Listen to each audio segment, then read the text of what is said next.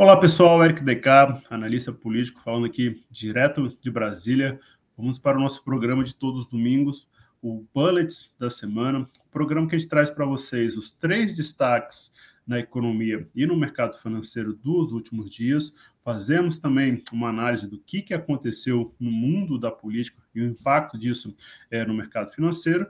E no segundo momento, a gente também te coloca aí quais são as perspectivas e quais são os possíveis acontecimentos da próxima semana, para você também poder acompanhar tanto no campo da economia, do mercado financeiro, também quanto dentro do contexto da política. E no programa de hoje, a gente vai ter a presença da Carla Argenta, ela é economista-chefe da CM Capital. Seja bem-vinda, Carla. Muito obrigada, é sempre um prazer estar aqui junto com o pessoal da BMC News. Legal. Carla, antes da gente começar, para a turma que ainda não te conhece, é, fala um pouquinho do seu background, um pouquinho da sua história e uh, qual é a sua atuação na CM Capital. Claro. Bom, aqui na Semi Capital, a Semi é uma corretora, né? Então nós atendemos aí todos os tipos de clientes com foco em clientes institucionais. É, e dentro do departamento econômico, é uma área de research, nós fazemos pesquisas e tentamos identificar quais são as tendências de mercado para as principais variáveis macroeconômicas. Eu, claro, não trabalho sozinha, tenho um time aqui junto comigo e nosso dia a dia é praticamente se debruçando em cima é, de séries históricas, indicadores e fazendo é, projeções futuras. Então, é um trabalho é, não muito, muito simples e que precisa de bastante concentração. Claro, sempre tem muita gente envolvida por trás de tudo isso. Faz aproximadamente um ano e meio que eu estou aqui na corretora, tá? Já trabalhei em uma asset management antes uh, e sou especialista em inflação, então acabo me debruçando mais sobre essa variável, que é uma das variáveis que tem tirado o sono do mercado, né? Nos últimos dois anos, é, tem sido é, tenham sido muito questionadas sobre inflação. Basicamente isso que nós fazemos aqui. Legal, Carla. Eu me arrisco que a inflação é, inclusive, o pesadelo hoje do atual governo, porque eles estão muito preocupados em como vai chegar esses números ali na, em outubro, na véspera da eleição. A gente vai explorar isso, mas antes de chegar nesse ponto, é, qual é o seu, então, o seu primeiro bulletin, qual é o seu primeiro destaque desses últimos dias na economia e no mercado financeiro? Claro.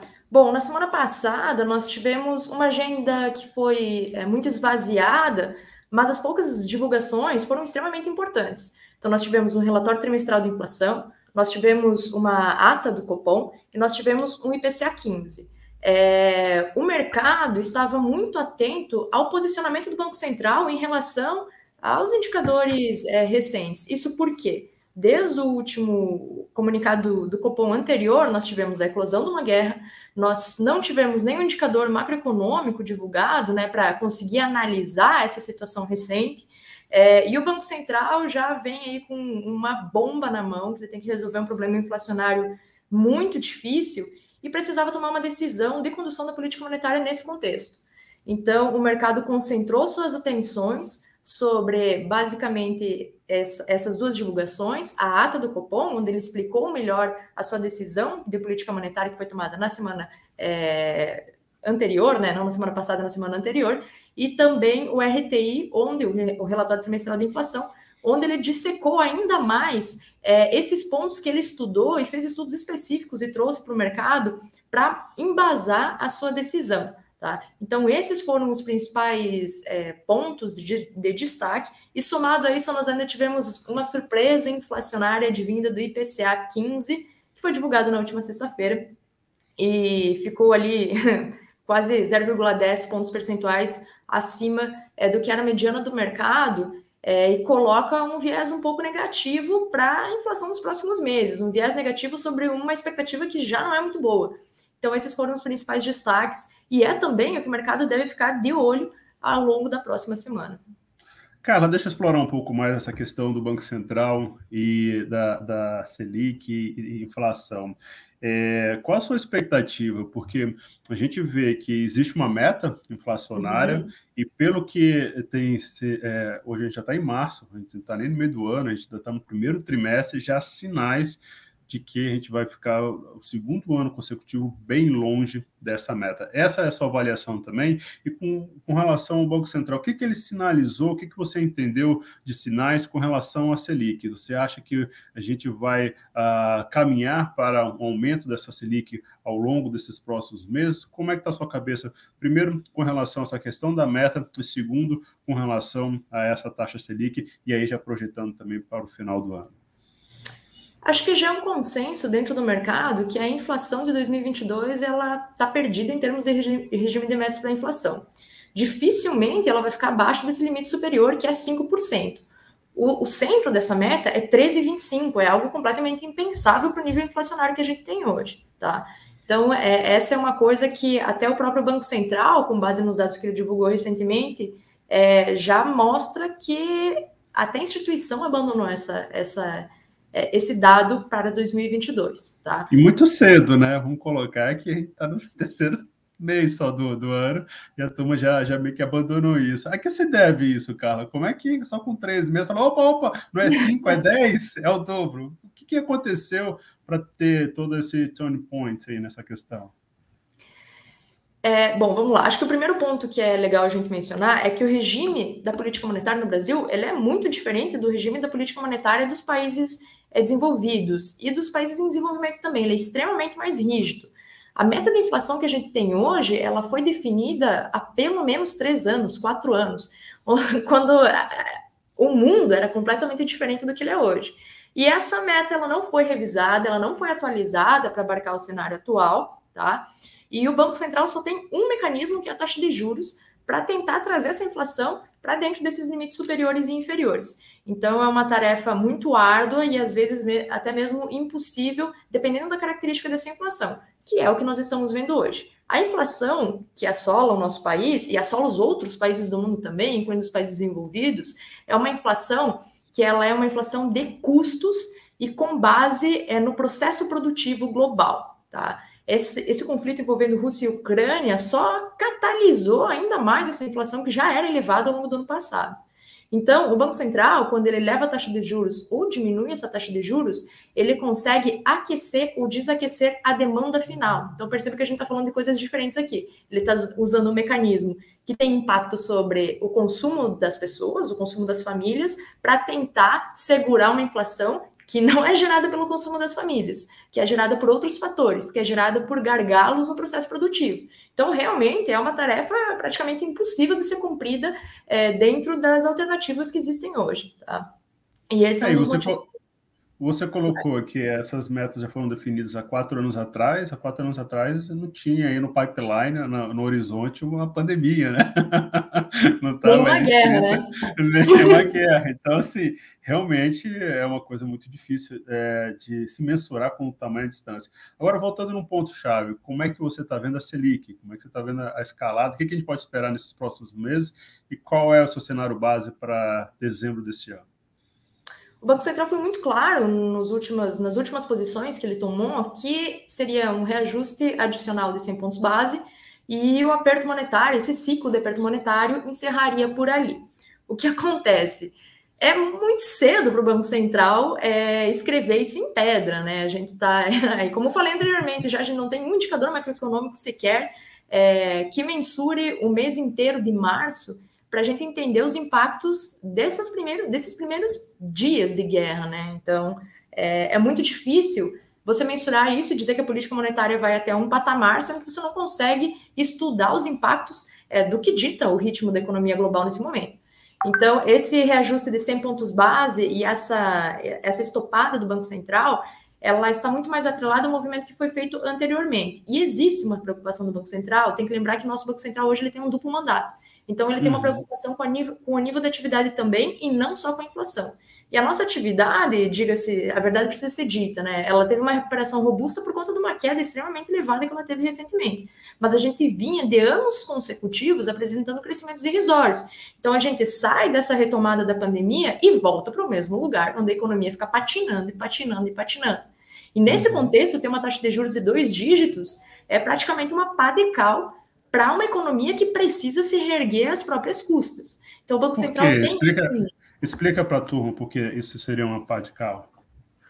Porque, é, vamos lá, é, como eu disse, o, Banco Central utiliza essa taxa de juros para aquecer e para desaquecer o consumo tá, das famílias. É, hoje, mais de 60% de todo o PIB nosso, de todo o nível de atividade, ele é é, gerado pelo consumo das pessoas, pelo consumo das famílias. E quando você desincentiva esse consumo, como, quando você dificulta o crédito, quando você é, eleva a taxa de juros a ponto das dívidas que você tem se tornarem mais caras, né? Porque os juros futuros, né? Eles vão corrigindo essa dívida é, e vão deixando ela mais cara é, o montante disponível para as famílias e para as pessoas consumirem, ele fica cada vez menor, porque você tem que pagar essa dívida, então sobra menos dinheiro para você consumir. Sobra menos dinheiro para você consumir, poxa, por que, que, as empresas vão produzir, né? Se elas têm uma expectativa de vender menos.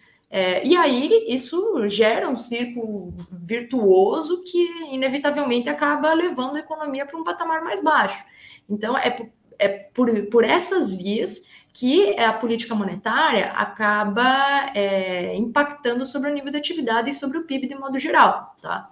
E aí a gente tem esses, esses desdobramentos negativos que também é, atendem a uma defasagem, né? Isso não acontece imediatamente. E esse é mais um dos motivos pelo qual o Banco Central deixou, né, e tá, optou por esperar é, para que os reajustes que foram feitos no passado é, tivessem é, impacto é, nesse momento, porque essa defasagem, de acordo com exercícios econométricos que nós fazemos aqui, ela leva de seis a nove meses para bater na economia. Então, a taxa de juros que a gente tem hoje, na verdade, ela não é essa de 11,25.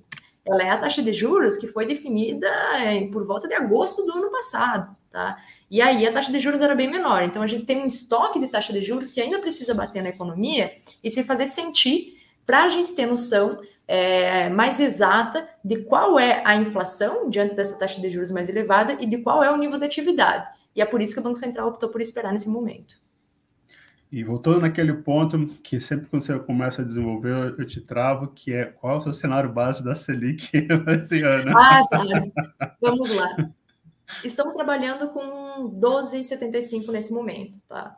É, o Banco Central ele foi muito claro quando é, disse que esperaria para agir e que o final do ciclo de aperto monetário seria nesses 12,75. É claro que economistas trabalham com estresse de cenários, né? Então, se fosse para nós colocarmos um viés sobre essa taxa de juros, é, seria um viés altista, porque nós não vemos essa inflação arrefecendo e é, acreditamos que ela vai trazer problemas para o Banco Central, porque ela deve começar a mudar as expectativas de mercado para os anos subsequentes. E é extremamente importante isso para o Banco Central. Por quê? Porque ele precisa agir é, com base é, nas projeções que ele mesmo faz. Mas o que alimenta essas projeções são as expectativas de mercado. Então perceba que se as expectativas de mercado começam a degringolar, né, para os anos subsequentes, que o Banco Central é, ainda considera que consegue trazer essa inflação para patamares aceitáveis, inevitavelmente a projeção da instituição vai mudar também. E aí ele uhum. será obrigado a agir e a, a levar mais uma vez essa, esses juros para tentar controlar essa inflação. Então, é, nós temos uma expectativa de 12,75, que foi o que a própria instituição falou na semana anterior, né? Mencionou isso algumas vezes. É, porém, é, o sentimento que nós temos é que se a economia caminhar diferente do que a própria instituição, do que o próprio Banco Central, que é a nossa autoridade máxima, imagina, essa taxa de juros deve ser mais elevada. Uhum. Deixa eu botar um ingrediente nesse seu cenário é, que conversa diretamente com a inflação, que é o dólar. O dólar hoje está um pouquinho mais comportado, o dólar hoje está comportado em razão do fluxo. Um dos motivos é o fluxo de estrangeiro na, na, no mercado financeiro, porque a Rússia passou a ser um país é, não bem visto pelo estrangeiro, a Rússia está dentro daquele patamar de emergente, está ali junto com o Brasil, o Brasil então passou a atrair parte desse fluxo internacional. Está segurando o dólar. É, você acredita que esse dólar vai continuar comportado? E dentro desse, dessa análise do dólar, eu queria botar o ingrediente eleições. Você acredita que esse dólar vai continuar comportado com o avançar das eleições? E qual o impacto disso na inflação? Tendo em vista que, basicamente, hoje um dos temas centrais, que é combustível, está atrelado ali ao dólar, mas tem outros vários elementos da economia que também estão atrelados ao dólar. Como é que está a sua cabeça? Como é que está a montagem que eu chamo de puzzle, desse quebra-cabeça, é, inserindo esse ingrediente? O dólar continua comportado nos próximos meses? meses, mesmo com fatores eleitorais. Como é que você está vendo isso aí para esses próximos seis meses? Eu costumo falar que é, o câmbio é a variável mais ingrata para economistas, né? Porque a gente precisa fazer projeções de longo prazo e o câmbio ele reage muito a movimentos de curto prazo, tá? Mas vamos lá. É, as eleições elas devem trazer muita volatilidade e devem levar o câmbio para um patamar mais elevado do que ele está hoje, tá? É claro, vamos identificar primeiro quais são esses movimentos que fizeram o dólar cair em relação ao real, para depois a gente pontuar de onde pode vir essas pressões no sentido oposto, tá? Então, inicialmente, conflito envolvendo é, Rússia e Ucrânia. Por quê? Ucrânia é um dos maiores exportadores de milho do mundo, é o quarto maior. O Brasil também é um dos maiores exportadores. O conflito em terreno ucraniano evita que sejam produzidas essas culturas. Então, eu falo de uhum. milho, eu falo de trigo e eu falo é, de óleo de girassol, que o substituto é óleo de soja e nós produzimos soja, tá? Então, vamos lá nem só o conflito propriamente dito. Por quê? Porque parte desse conflito acontece sobre essas lavouras, então elas não vão produzir nada. É, quando não acontece sobre essas lavouras, as pessoas que deveriam cuidar dessas lavouras estão servindo ao exército, então elas não conseguem produzir. E quando não é nenhum desses casos, o que sobra praticamente nada, né? É, não chega insumo nesses lugares, então não consegue ser produzido. Ou seja, praticamente toda a produção da Ucrânia vai ser perdida. E o Brasil é um cara, é um país que consegue ofertar esses produtos no comércio internacional. Vamos olhar para a Rússia agora. A Rússia, ela tem um grande produto que é o petróleo e ela também é um grande produtor de trigo. Mas mesmo que é, não exista conflitos e potencial de quebra de oferta desse, sobre esses produtos russos, os embargos a nível global, que sequer incidem sobre esses produtos, mas são financeiros, evitam que esses, esses produtos sejam comercializados. Ou seja, não se pode comprar da Rússia por outros fatores. Quem pode suprir essa demanda, mais uma vez, é o Brasil. Então, esses recursos vieram em peso para cá tá? E aí tem outros, outras características que são características do Brasil e não dizem respeito à sua economia real propriamente dita, que é o mercado financeiro. O Brasil tem o mercado financeiro mais desenvolvido da América Latina toda. Isso significa que ele tem mais potencial de absorver esses recursos externos. Mesmo que o investidor norte-americano, mesmo que o investidor europeu esteja olhando para a América do Sul e pensando em colocar suas divisas em outros lugares, os outros mercados eles são tão pequenos que a capacidade de absorver esses recursos é muito menor. E aí eles acabam hum. vindo em peso para o Brasil. Outra característica que o Brasil tem é que o Brasil tem livre mobilidade de capitais. O que isso significa? Não existe restrição para você tirar esse dinheiro e levar ele embora. O investidor pode fazer isso no momento em que ele quiser. Essa não é uma característica de todos os países da América Latina, mas é uma característica do Brasil. É algo que dá segurança para o investidor. Então ele olha para todo aquele contexto, olha para o Brasil e vê, poxa, é esse cara aqui o que é mais é, o que salta aos meus olhos, o que é mais chamativo e o que é, é mais, é, mais seguro para eu colocar os meus recursos nesse momento. Adicionalmente a tudo isso, a gente tem uma taxa de juros de dois dígitos. Que outro país tem uma taxa de juros de dois dígitos? Com uma capacidade de pagamento dessa dívida é, integralmente segurado para o ano de 2022. Então a gente tem dinheiro em caixa para pagar essa dívida, algo que o Brasil nunca teve. Tá? Então, é uma série de fatores que beneficia muito o Brasil nesse contexto como um todo. Agora, me parece que nós estamos atravessando o melhor momento e que faz com que o Brasil seja mais atrativo aos olhos dos investidores, que pode acontecer e é agora. Por quê? Porque nós temos uma eleição que deve ser sangrenta, tá? E aí deve trazer bastante volatilidade para o mercado e insegurança jurídica. Insegurança jurídica, o dinheiro sai daqui e como falei, esses recursos eles estão vindo para o mercado financeiro. Eles não se transformaram em investimento direto no país. Ora, se eles estão vindo para o mercado financeiro e uma das características que faz com que ele venha é a livre mobilidade de capitais, é justamente ele poder voltar imediatamente, é, qualquer movimento que ele signifique um vetor no sentido oposto, pode ser uma desculpa ou um motivo para o investidor que veio para o Brasil sair. Então, nós não vemos muito espaço para esse real continuar apreciando frente ao dólar.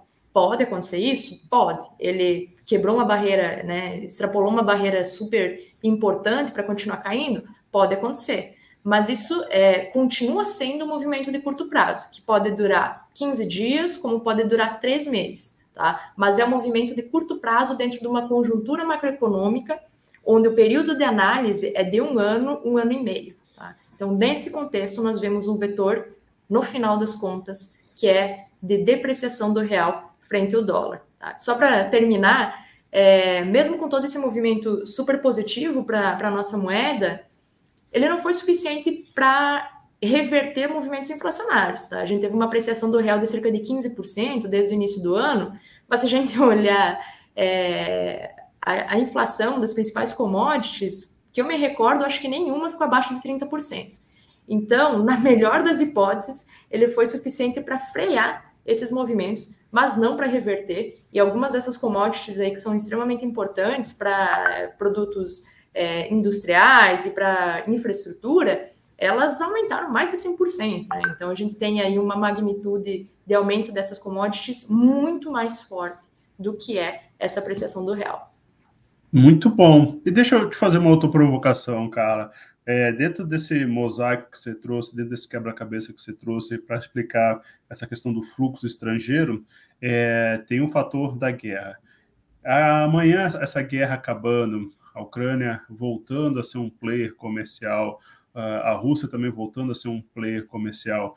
Vou botar mais um ingrediente, tá? O Fed também sinalizando aumento de juros lá nos Estados Unidos, botando essas três peças na mesa. Você acredita que esses podem ser potenciais gatilhos para esse fluxo aqui no Brasil é, diminuir até reverter? Sim, acredito que sim, no curto prazo, e eu adicionaria outros movimentos ainda, tá? Que movimentos são esses? É... Quando nós saímos da Segunda Guerra Mundial, o mundo optou é, por uma produção globalizada, justamente para não acontecer o que está acontecendo agora. Então, a Alemanha ficou extremamente da Rússia, extremamente dependente da Rússia em relação à energia, né? É, e todos os países eles acabaram se entrelaçando muito. Com o estouro desse conflito, as economias elas tendem a ficar muito mais nacionalizadas. E aí deve acontecer isso é um movimento de longo prazo, tá? Não é um movimento de curto prazo.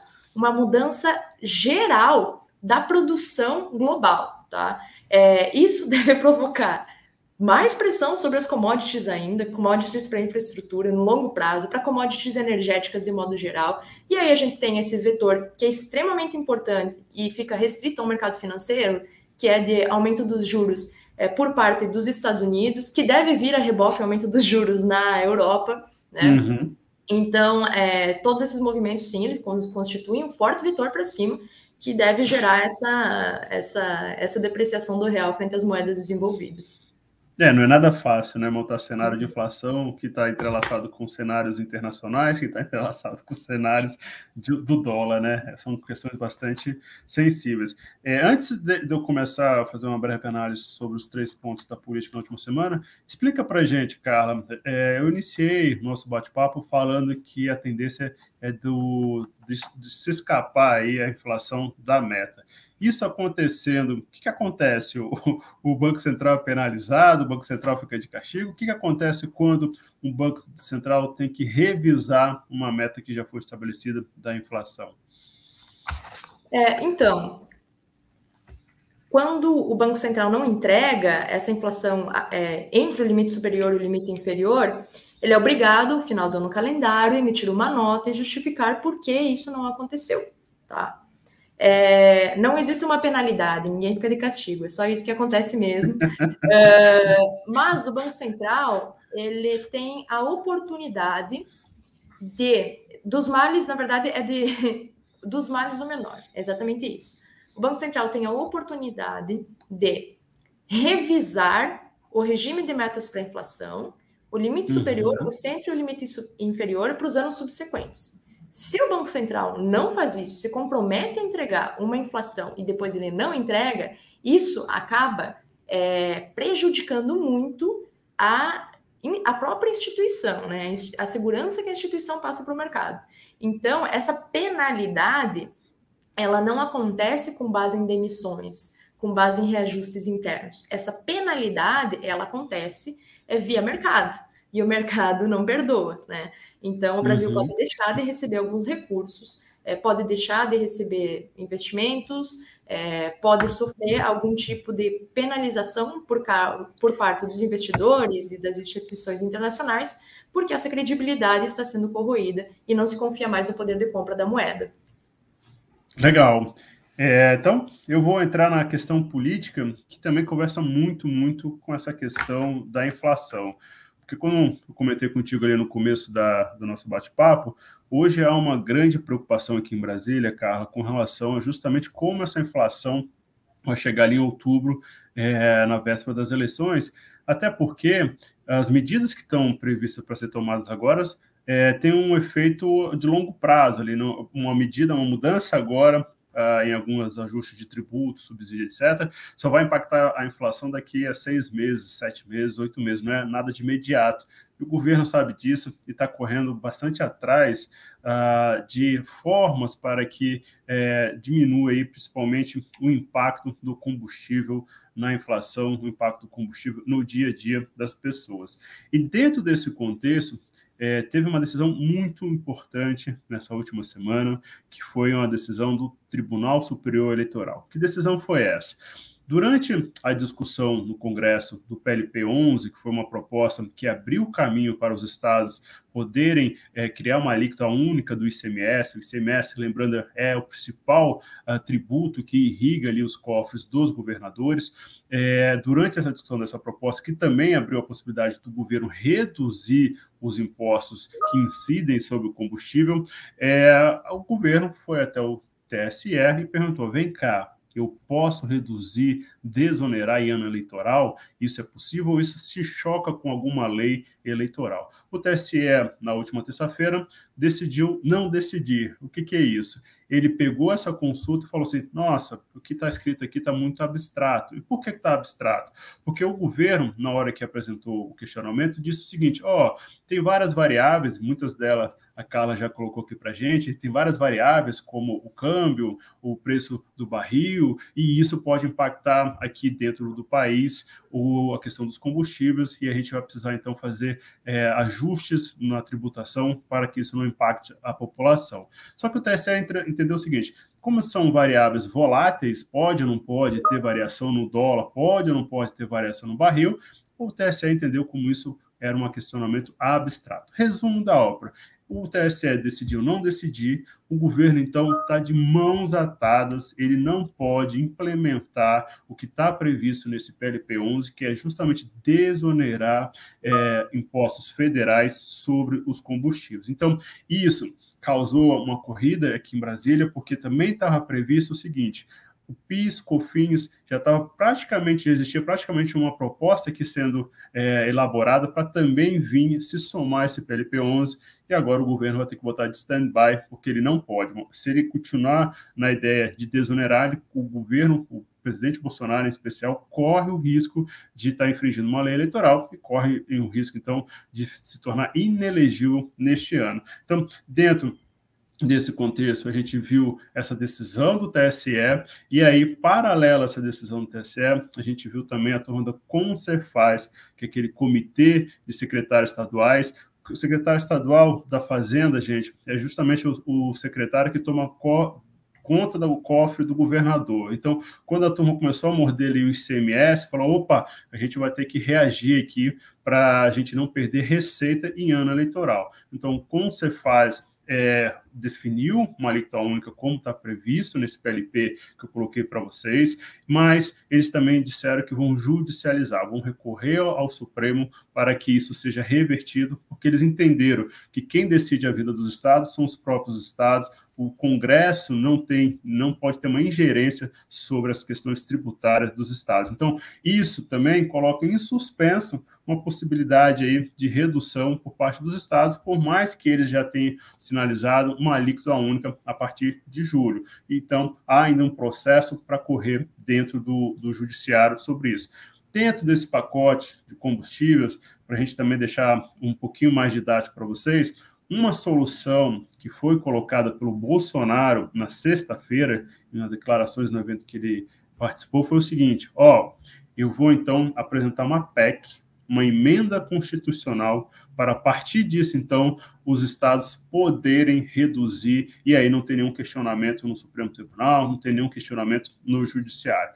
O, fato é o seguinte, gente, uh, essa PEC em sendo encaminhada para o Congresso, ela também pode, durante as discussões, pode ser enxertada a possibilidade de redução de tributos federais, como previa ali o PLP 11.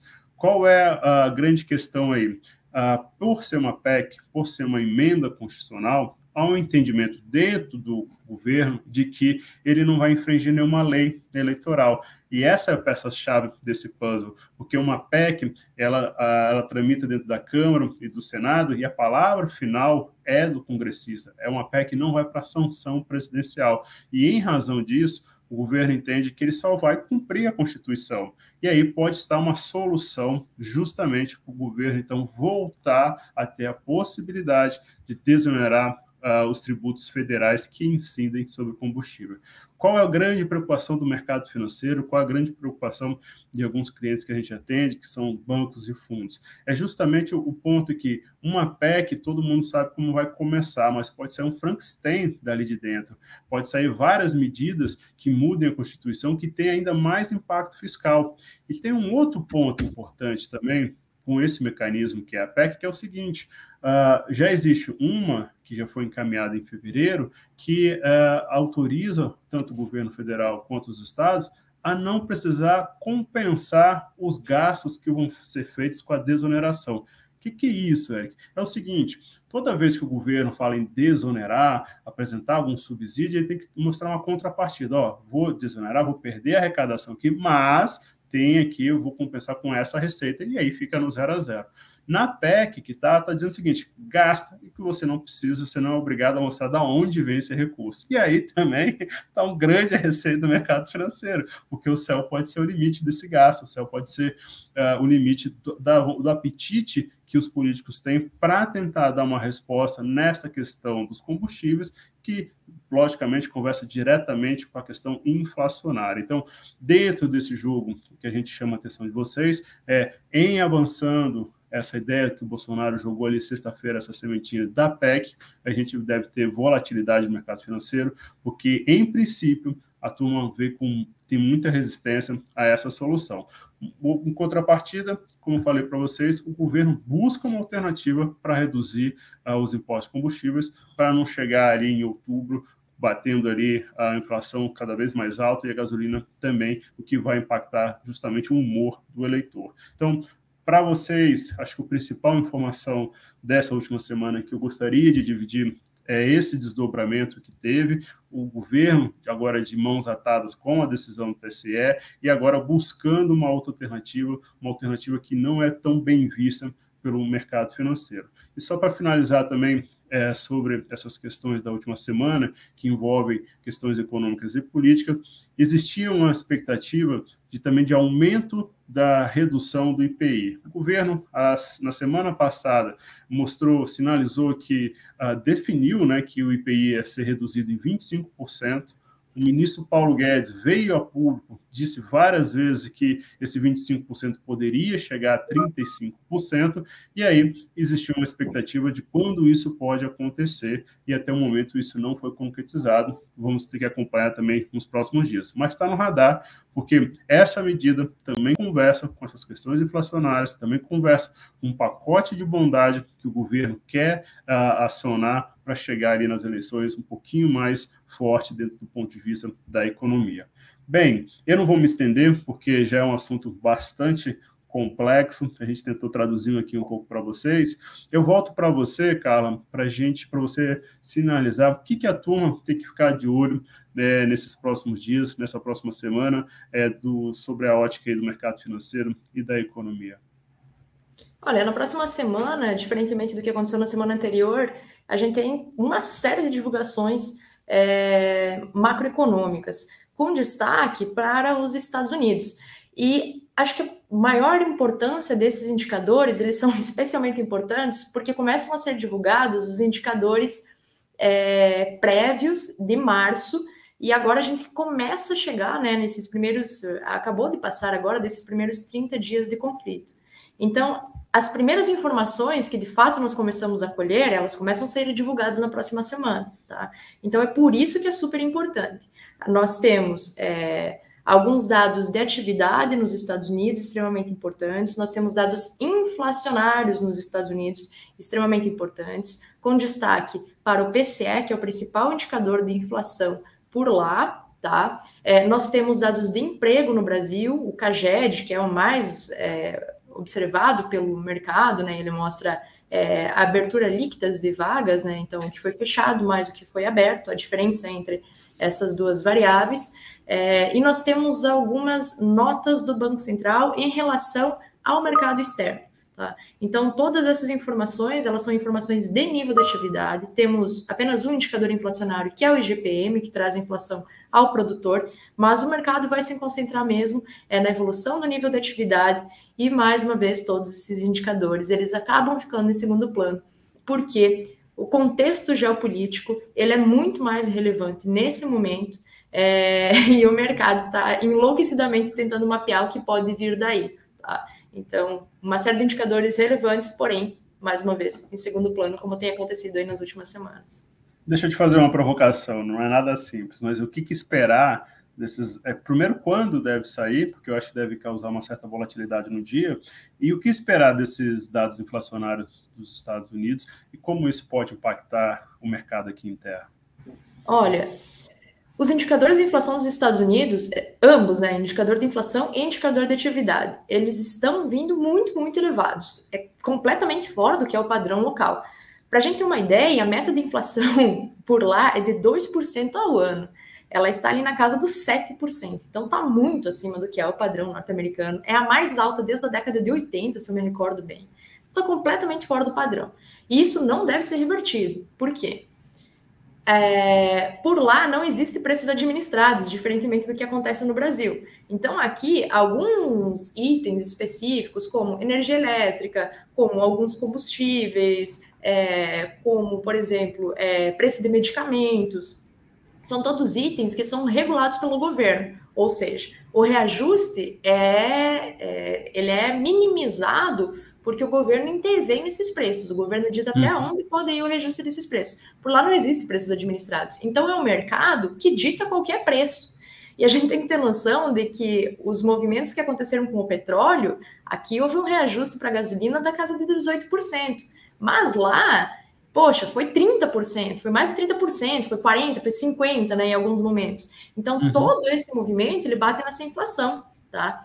É, e aí tem outros movimentos também, commodities agrárias, é, que é muito mais imediato por lá do que aqui, porque existe uma defasagem muito menor é, lá por conta da característica da economia norte-americana, do desenvolvimento do mercado capitalista.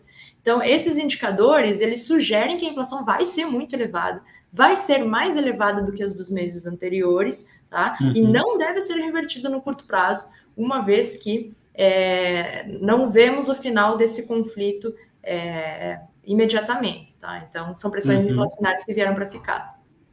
Mas qual é o impacto disso aqui uh, no mercado interno? Saindo lá, que dia que sai? Saindo a informação, o que, que esperar aí de, de, ah, claro. de fluxo aqui? É, a política monetária por lá funciona da mesma forma como funciona aqui, né? O Banco Central norte-americano ele utiliza a taxa de juros para tentar trazer essa inflação para baixo, da mesma forma que acontece aqui. Ora, se a inflação tende a vir mais elevada, o mercado vai reajustar suas expectativas de juros dos Estados Unidos para cima. Ele fazendo ah. isso, a gente tem que ter uma noção de que o investidor ele está sempre olhando, poxa, risco versus retorno, risco versus risco versus retorno.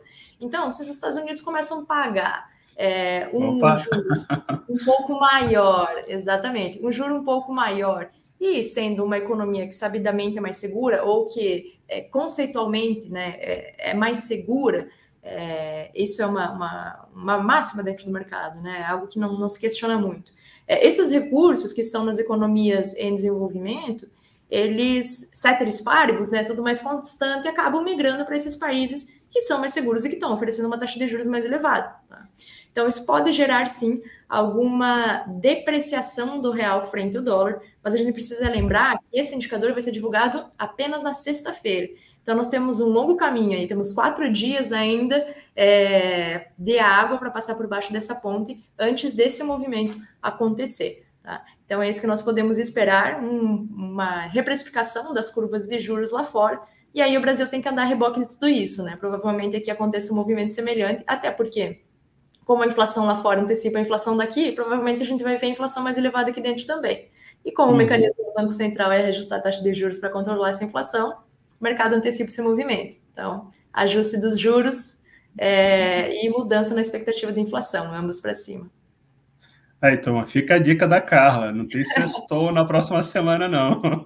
Sexta-feira que vem vai ser aí de muita atenção do mercado externo e interno com relação a esses dados inflacionários dos Estados Unidos. Aqui no Brasil, é, o destaque que eu coloco para vocês é a gente ver como vai ser o desdobramento dessa questão que eu trouxe para vocês no primeiro bloco, com relação à possibilidade de apresentação de uma PEC para redução de tributos. Isso aí, uh, em ganhando corpo vai ter também impacto no humor do, dos investidores, vai ter muitas as questões que vão ser colocadas, para onde que vai essa PEC, como vai andar isso dentro do Congresso. É, o próprio Bolsonaro, como eu falei para vocês, diz que está sendo estudado. Então, é, esse é um, um dos principais pontos que eu trago para a gente ficar de olho na próxima semana. E a próxima semana também, gente, é a última semana dentro do calendário eleitoral para a turma fazer aquele troca-troca de partido. Então, dentro dessa dinâmica, está todo mundo olhando para Eduardo Leite. Havia uma expectativa do Eduardo Leite dar declarações e sinalização para onde queria na última quinta-feira, na há três, quatro dias atrás. Ele não fez isso, o que deixou ainda o clima ainda mais de, de dúvidas e de mais curiosidade. Então, pode ser que nesses próximos dias o Eduardo Leite sinalize o que, que ele vai fazer, porque além dessa questão do fim do prazo do troca-troca, tem um outro calendário, que é o calendário que, que diz respeito a os, quem está no executivo, quem está como governador, tem que deixar o cargo, todos aqueles que forem disputar né, a próxima eleição, tem que deixar o cargo para, então, é, ir para a campanha. Então, a gente vai ver também definições com relação a isso. Vem cá, o Eduardo Leite, que está sendo apontado aí como potencial candidato da terceira vista vai, de fato, deixar a cadeira de governador, eh, vai prosseguir no mandato, ele vai trocar de partido? Quais são os outros governadores que também vão descer da cadeira para disputar a próxima eleição? Então, a movimentação do mundo político vai ficar muito concentrada nisso. Basicamente, as atenções vão estar é, para essa questão do troca-troca, fim do, da, do, da troca de partido e o fim desse período para a turma que vai disputar as eleições deixarem os atuais cargos. Lembrando que isso só serve para governador, isso serve, não é o caso agora de prefeito, mas também serve para prefeito, não serve para o presidente, tá? O presidente continua no mandato até o final, mesmo tentando a reeleição dele. Bem, gente, esse foi o nosso programa de domingo, o Bullets. É, Carla, antes da gente finalizar, gostaria de abrir aqui o espaço para suas considerações finais e já agradecendo muito a sua participação, muito a sua troca de conhecimento aqui com a gente. Acho que foi super didático, acho que você conseguiu passear aí por os principais pontos é, nacionais, questões internacionais, algumas cascas de bananas que eu coloquei para você como dólar, você passou ilesa. Então, assim, abrir esse espaço final aí para você, para as considerações. Legal, obrigada. Bom, é sempre um prazer é, conversar com vocês aqui da BMC. É um prazerzão enorme. Eu adoro participar dos programas da BMC. É, enfim. Uh, bom, pessoal, em relação a considerações finais, eu costumo dizer que as coisas elas não têm sido muito fáceis, né? Para quem opera no mercado e para quem vive no dia a dia também, tá? Mas é, no final das contas, é, eu acho que quando a gente olha para o futuro, assim, não tem mais muito é, como as coisas é, degringolarem. Então, daqui para frente, pessoal, vamos ter fé, porque as coisas, acho que elas vão, acho que elas vão melhorar, tá? Então, uma vez passado esse, esse período de volatilidade imensa, período eleitoral super difícil, é, esses desarranjos globais que por vezes beneficiam em alguns aspectos do Brasil e acabam inevitavelmente prejudicando o mundo como um todo, né? A gente nunca pode dizer que uma guerra é boa. Então, é, uma vez superados todos esses, esses movimentos, a gente tem que lembrar que a gente saiu, poxa, nem saiu de uma pandemia ainda e entrou numa guerra, né? Então, acho que é, é difícil a gente imaginar que existem mais eventos catastróficos para acontecerem para piorarem mais ainda as coisas. Então, pessoal, daqui para frente não tem mais como é, as coisas é, caminharem mal e, inevitavelmente, elas terão que melhorar, tá? Então, Eu acho que esse, essa é a principal mensagem, tentando achar um pouquinho de otimismo aí dentro desse mar de pessimismo, mas esse é meio que papel do economista, né? Economista não costuma ser muito otimista. Então é isso aí, pessoal. É, em breve nós voltaremos a conversar, eu espero, tá? E espero que eu tenha também é, boas notícias para trazer para vocês. E dentro desse contexto que você colocou, Carla, dentro da diversidade tem muitas oportunidades também. Então, assim, Exatamente. Tem, tem um certo otimismo também por esse lado, que tem muita gente ganhando é, de alguma forma com toda essa dinâmica ruim que a gente está vivendo, como você colocou, saindo de uma pandemia, entrando numa guerra. Então, eu compartilho com você dessa, desse cenário de otimismo. E, gente, vamos ficando por aqui. É um ótimo domingo, uma ótima semana e bons negócios.